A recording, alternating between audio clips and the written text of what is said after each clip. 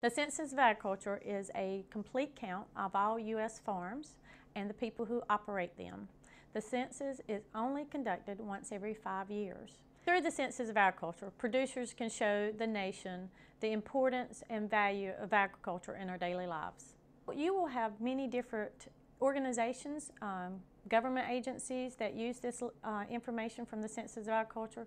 It will either start at a local level, a state level, and a national level. The people are going to make the decisions one way or the other, so we feel like we really like to have the farmers have the opportunity to give the best data possible so the best decisions could be made.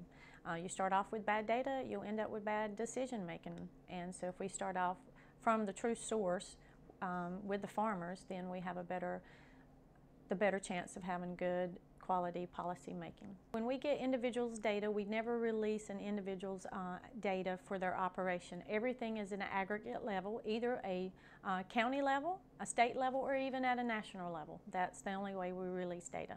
So it's going to be flowing out in several phases during the month of uh, December.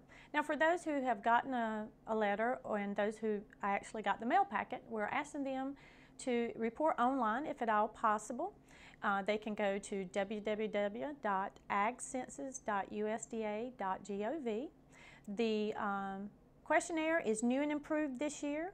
It is uh, going to be able to skip questions that do not pertain to the operation. It's going to add totals.